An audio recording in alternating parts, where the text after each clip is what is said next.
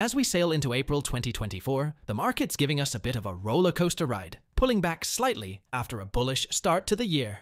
Today, we'll be discussing the three dividend stocks for April 2024, which I've invested in and believe are the best picks for the month. Yet, the S&P 500 and countless stocks are still flying high, hitting all-time peaks. Despite the market's lofty heights, there are companies out there that catch the eye of a savvy, value-minded, dividend growth investor like myself. In this video, I'm zeroing in on three such gems that I'm not just recommending, I'm backing them with my own cash as we close out March 2024. I'll walk you through exactly why these companies are earning a spot in my portfolio, aiming to be cornerstone holdings for years to come. We will review each stock with a thorough chart analysis and an in-depth financial examination. Additionally, we will conduct valuations using the DCF, DDM, and the Graham valuation method with my Google Sheet, which you can download from my Patreon page. All right, let's jump in. All right, let's dive into the world of O Realty Income Corporation, affectionately known by its shareholders as the Monthly Dividend Company. It's a stock that turns the income faucet on with such consistency, you'd think it's afraid of drought. Looking at the chart, it seems like O has been on a mountain trek over the last year, and it wasn't all downhill skiing. We see a 14.07% descent in stock price, which might give some the jitters, but to the eagle eyed dividend investor, this could spell opportunity. Is it a market overreaction, or is the stock telling us a story? That's the riddle we aim to solve. Now, hold on to your calculators, because this is where it gets interesting. The forward dividend yield sits at a comfy 5.92%, a number that could make a bond blush. With a PFFO, price to funds from operations, of 12.36, it seems Mr. Market might be handing out a discount on a silver platter. The dividend rate is chugging along at $3.08, and with a market cap of a whopping $44.94 billion, this is no lightweight in the REIT division. Volume's looking healthy too. Over 6 million hands waving in the air trying to get a piece of O. But the big question lingers is Realty Income Corp the solid bedrock your portfolio needs? Or is it a falling knife dressed in a dividend cloak? Stay tuned as we unravel the financials and put these numbers under the microscope to see if this stock deserves a crown or a frown. Remember, my fellow investors, always do your due diligence. And if you find my banter matches your investment vibe, consider joining the Dividend Dynamics crew by smashing that like button and subscribing. And hey, don't keep the wealth of knowledge to yourself. Share this video with a fellow investor or two. Let's get to the bottom of this dividend detective story together. Let's talk ratings, and not the kind you give your Uber driver, but the ones that could potentially drive your portfolio's performance. We're zooming in on the SA analyst ratings for O Realty Income Corporation. It looks like the analysts are giving a collective thumbs up, with an average rating shining bright at a robust 4.17 out of 5. That's leaning heavier on the buy side than a ship listing with treasure. Diving into the breakdown, we've got a team of 15 analytical minds who've weighed in over the past 30 days. Here's the score 4 are shouting strong buy from the rooftops, 8 are giving a confident nod with a buy, and 3 are firmly on hold. The best part not a single sell or walk the plank to be seen here, folks. Now, what does this mean for you, my fellow dividend enthusiasts? Well, if this were a pirate's map, the X marks a spot that's looking pretty darn inviting. But remember, analysts' ratings are like spices. They can give flavor to your investment decision, but too much trust in them and you might end up with indigestion. So, should we sail along with the analysts' bullish breeze? Or should we chart our own course? Hold on to your captain's hat because we're about to dive deeper into the financials and valuation methods to see if the numbers hold up to this shiny analyst sentiment. All right, dividend detectives, it's time to put on our magnifying glasses and scrutinize the dividend dossier for O, Realty Income Corporation. We're not just looking at the numbers, we're grading them like a strict substitute teacher. First up, dividend safety. O snags a C+. It's like that student who does just enough to keep the peace at the parent teacher conference. The grade indicates they can keep the dividend checks coming, but there's room for improvement. Let's not get too comfy here. Now, for dividend growth, we've got a solid B. This is the steady Eddie of the class, not the valedictorian, but the kind of consistency we like, showing attractiveness in its growth rate among peers. Moving on to dividend yield, OO also scores a B. This isn't just attractive, it's prom king or queen levels of attractive compared to its peers. With a yield that could make your savings account weep, it's definitely worth a second glance. And the GPA booster, dividend consistency, comes in with a sparkling A+. This is the kid in class who's had perfect attendance since kindergarten. Realty income is that reliable student, paying out consistent dividends that could make a clockwork jealous. Flipping the page to the dividend summary, we've got a forward dividend yield sitting pretty at 5.92% and an annual payout of $3.08. The payout ratio is at 74.37%, which is like a seatbelt. It's secure, but you don't want to test it too hard. The growth over five years is charting at 3.63%. It's not the rocket ship growth some might dream about, but in the world of dividends, it's the tortoise that often wins the race. And let's not breeze past this 26 years of dividend growth. If this were a marriage, we'd be celebrating with silverware. The latest announcement shows a dividend of 26 cents with the ex div date of March 28, 2024. The payout date is set for April 15th, just in time to soften the blow of tax day with a monthly frequency that's more regular than your morning coffee. Now let's cast our gaze on the dividend growth chart for O, Realty Income Corporation. We're looking back over the past five years like a nostalgic investor reminiscing about the good old days of dividend hikes. Starting in 2019, it's like we're watching a skyscraper being built. Each year, the dividend has been stacking up higher, showing a clear upward trajectory. And for us dividend investors, that's a skyline we admire. Despite the economic rollercoaster we've been riding, O has been handing out dividend raises like it's got a bottomless wallet. This isn't just growth, it's consistency and commitment that could even make a marathon runner pant. What's commendable here is not just the increase, but the message it sends. In a world as uncertain as trying to use a sundial at night, O has been as reliable as the sunrise when it comes to growing dividends. Fellow investors, it's time to don our financial goggles and dive into the sea of numbers with the discounted cash flow and dividend discount model for O Realty Income Corporation. We're crunching numbers like a squirrel with a nutcracker. Look at these cash flows, growing steadily from 2013 all the way to 2021. Talk about a green thumb for growth.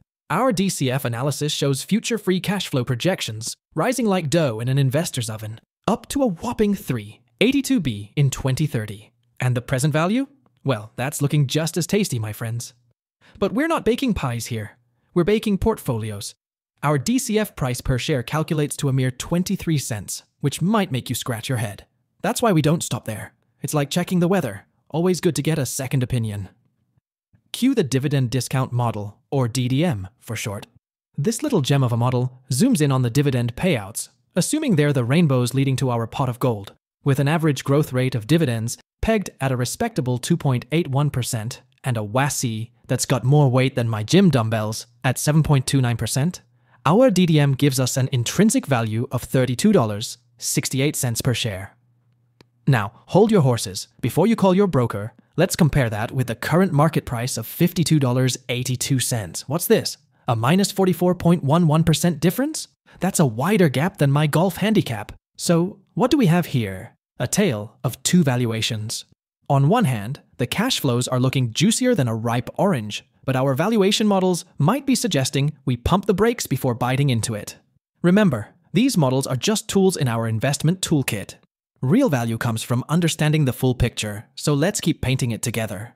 Share your thoughts down below. Do these numbers change your view on O? As always, your likes and subs are the dividends that keep our channel growing. If you want to get your hands on these models and do some number crunching of your own, check out our Patreon for exclusive access to my valuation tools. Buckle up, finance fans! We're about to land our valuation spaceship into the orbit of Graham's valuation model and our very own valuation cockpit for O Realty Income Corporation, it's like NASA for numbers. Benjamin Graham, the Jedi master of value investing, left us a formula more precious than my grandma's secret cookie recipe. With an EPS of $1.26 and a stately growth rate of 22.62%, Graham's lightsaber cuts through the market noise to give us an intrinsic value of $20.46. But wait, the current price is at $52.82, which sets off a difference of 258.21%.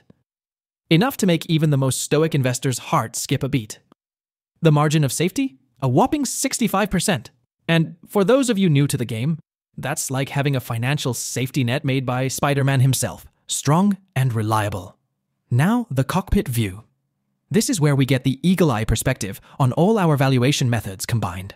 Think of it as mission control for your investment decisions. Graham's number crunching has set our acceptable buy price at $13.30.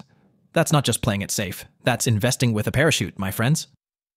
As we toggle between the DCF, DDM, and Graham's model, we're getting mixed signals like a confused GPS. One thing's for sure, the current price is higher than all our intrinsic values calculated. So, what do we make of this? Is O a diamond in the rough at its current price? Or is it more like cubic zirconia, shiny, but not quite the real deal? That's for you and your portfolio strategy to decide. Remember, each model is a piece of the puzzle, not the whole picture. Combine them with your research, sprinkle in some market sentiment, and voila, you've got yourself a well seasoned investment decision. Don't fly solo. Join our squadron of savvy investors on Patreon, where you can download this valuation cockpit tool and steer your investments with confidence. Now, we're dishing out the details on a company that's as seasoned in the market as it is in the kitchen McCormick and Company. Buckle up as we dive into the spicy world of MKC's stock performance and dividends. But wait, if you're hungry for more than just savory stock analysis, saunter over to my Patreon page. In just four seconds, I can tell you that's where you can grab our exclusive Google Sheet valuation tool. Don't miss out. All right, folks, let's feast our eyes on McCormick's stock chart. It's been a roller coaster of flavors over the past year. The stock has simmered down by 5.56%, giving investors a taste of volatility. But remember, in the stock kitchen, sometimes the slow cook yields the richest flavors. The pre market spice is up, trading at $72.50, a zesty 3.66% increase. Will this be the prelude to a tasty uptrend or just a seasoning spike? Only time will tell. Now, let's zoom out to the market garden where McCormick grows its profits. The food industry is notoriously resilient. People gotta eat, right? However, this old sage has seen its share of thorns with supply chain issues and changing consumer tastes. Yet, with a market cap of $18.77 billion, MKC is no small potato. Diving into the dough, McCormick's EPS is a flavorful $2.83 with a forward PE of 24.68. This could mean investors are expecting some earnings spice to be added in future quarters. And for you dividend gourmands, MKC is serving up a forward dividend of $1.68 with a yield of 2.40%. A hearty portion of the profits indeed. Finally, let's whisk together our valuation recipe using the DCF, DDM, and the classic Graham valuation method. Our discounted cash flow analysis is simmering on the back burner, but it's the dividend discount model that has us salivating. MKC's consistent dividend payout is the yeast that could help your portfolio rise. And according to the Graham valuation method, which is the cherry on top, McCormick's intrinsic value spices things up. But it's important to consider if the current market price fully reflects the company's seasoning prowess. Peeling back the layers of Wall Street's latest ratings on McCormick Company. Is it a flavor fad or a staple in your dividend pantry? Let's find out. Let's sift through the Wall Street ratings. The word on the street is hold. That's right. With an average analyst rating of 3.05, McCormick has been labeled as a hold. It's not the most exciting flavor in the cupboard, but sometimes stability is key to a well balanced investment diet. Diving into the seasoning mix, 18 culinary stock connoisseurs, I mean analysts, have had their say in the last 90 days. It's a recipe with diverse ingredients, two strong buys, one buy, a dozen holds, two sells, and a pinch of strong sell. This pie chart looks like a pizza with more cheese than toppings, indicating that while some are nibbling, most are just keeping it warm in the oven. What does this mean for you, the investor who prefers dividends over drama? It's simple. McCormick is simmering on a slow burn. No need to preheat your investment oven to high risk just yet. The takeaway? While McCormick might not be the hot chili pepper of the stock market right now, it's more like the dependable garlic powder. Not overpowering, but a stable addition to your stock portfolio stew. And before we slice and dice into those numbers, remember to check out our Patreon for the secret sauce, our Google Sheet valuation tool. It's the gourmet choice for smart investors. Now, let's garnish our financial feast with Wall Street's taste test on MKC. The chefs over at Wall Street have been somewhat reserved, ladling out a hold rating with a taste profile of 3.05. The analyst breakdown has mixed spices with 12 holds, a couple of strong buys, and a dash of sell and strong sell. It seems like the sentiment is to let this dish simmer a bit longer. But what about the dividend dish? Here's where McCormick truly seasons the pot. With a dividend safety of B+, it's like that trusty cast iron skillet, reliable and ready to cook up payouts without burning them. The growth is rated A, showcasing a peppery performance against its peers. Now, the dividend yield might be graded a C, but let's not spill the soup just yet. It's about the full meal deal, my friends, and MKC has been setting the table for 37 years with growing dividends. That's a three course meal of consistency right there. Peeking into the dividend pantry, we've got a forward yield of 2.40% and an annual payout of $1.68. The payout ratio is sitting at a comfortable 57.99%.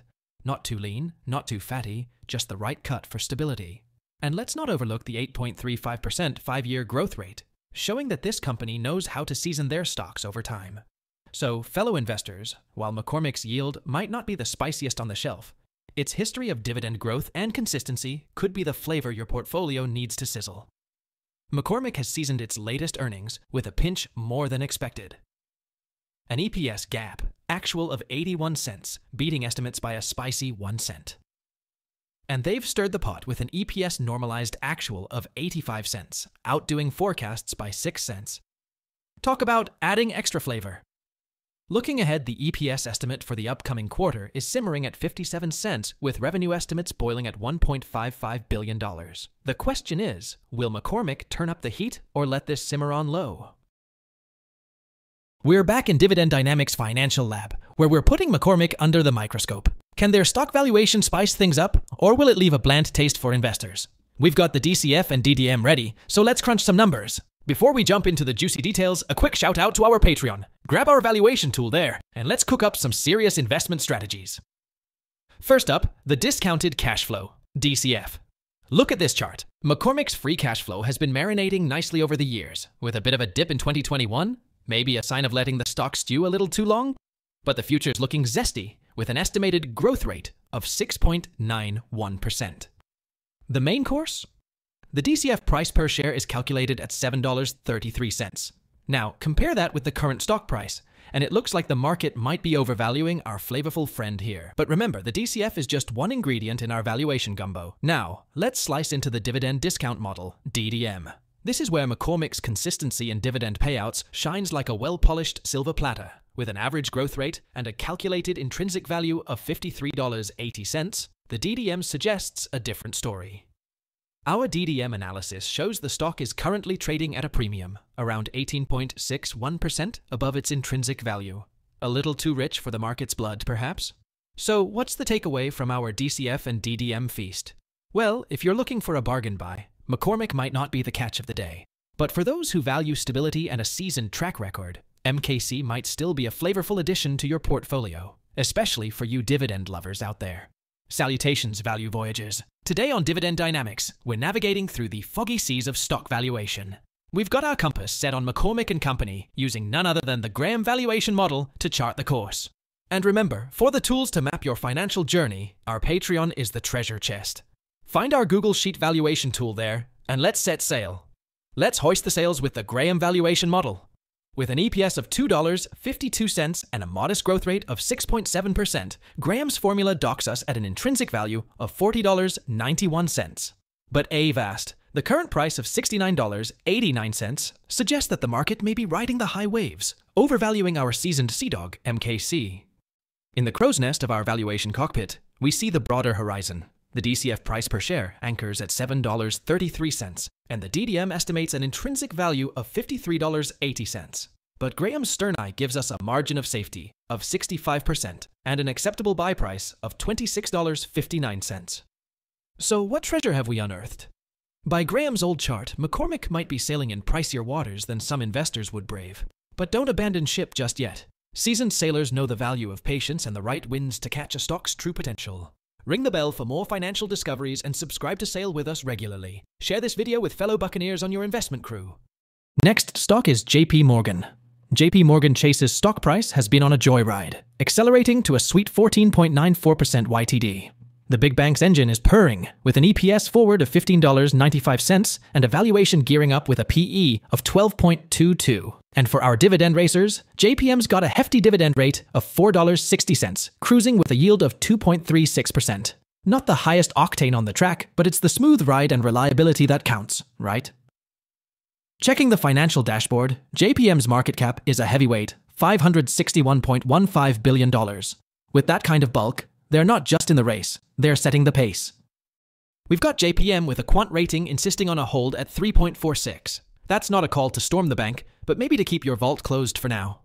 JPM's factor grades are like a mixed report card. Valuations sitting at a D, maybe signaling it's time for a little homework on market prices. Growth's at a C, which might not be the valedictorian, but it's definitely not falling behind. Now, cast your eyes on that dazzling A plus in profitability. JPM seems to be acing those financial exams, scoring high on the earnings front. And with momentum also looking robust at an A, it's like JP Morgan's been hitting the gym and is ready for the sprint. B plus in revisions? Seems like the analysts have been nudging their forecasts up a bit. Maybe there's more to this story than meets the eye. So, what's the verdict? JP Morgan Chase isn't the wild child of your portfolio. It's more like the steady, reliable class rep. It may not be party time just yet, but with those strong profitability and momentum scores, it's definitely not detention either. Calling all dividend detectives, it's time to scrutinize JP Morgan Chase's dividend dossier on today's Dividend Dynamics. Is JPM a dividend dynamo, or is the yield just a tease? Let's decrypt these dividends. Don't forget, for exclusive access to our financial toolkit, our Patreon page is where it's at. Grab your tools and let's get analytical. First off, JP Morgan is boasting an A plus in dividend safety, which is like having a safety deposit box in the world of dividends. It suggests that your payouts are secure, locked down by the bank itself. But wait, the plot thickens with a in dividend growth. It seems JPM's growth rate isn't exactly the bull market of the dividend world, more like a slow and steady tortoise, perhaps. Ah, the dividend yield is a D. Now, before you write off JPM as a dividend dud, remember, yield isn't everything. It's the combo of safety and growth that can really make your portfolio cash rich over time. And here's something to bank on a forward yield of 2.36% and an annual payout of $4.60. Not too shabby, especially with a payout ratio of 25.28%, which is like having a nice cushion in your savings account. Bringing it home with dividend consistency scoring a B, JP Morgan might not be the flashy high yielder, but it's more like that reliable savings bond from grandma, consistent and comforting. All right, JP Morgan threw us a curveball, missing the earnings target. With an EPS gap, actual of $3.04, they missed by 32 cents. And that revenue?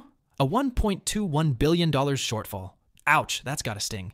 But don't pull your investments out just yet. The upcoming quarter has analysts buzzing with a normalized EPS estimate of $4.18. Now, that's a rebound we'd like to bank on. And what about those EPS revisions? 17 up and 4 down in the last 90 days seems like there's some confidence cooking in the background. Will it be enough to tip the scales next quarter? So, is this earnings miss just JP Morgan hitting a speed bump on the financial highway, or is it time to pump the brakes? These numbers are a cocktail of caution and optimism, stirred, not shaken. If you're into cracking the earnings code, smash that like button, hit subscribe for more fiscal detective work, and spread the knowledge by sharing this video. We've got the DCF and DDM ready to decode. Let's get down to business. And just a quick note if you want to get hands on with data like this, our Patreon page is where you can access our valuation tool. Join us there and sharpen your investing skills. Let's tackle the discounted cash flow first. These numbers are a roller coaster UPS, downs, and loop de loops. A startling average growth rate drop of minus 343.70%, with a DCF price per share deep in the red. That's like betting big on a high stakes poker game and folding every hand.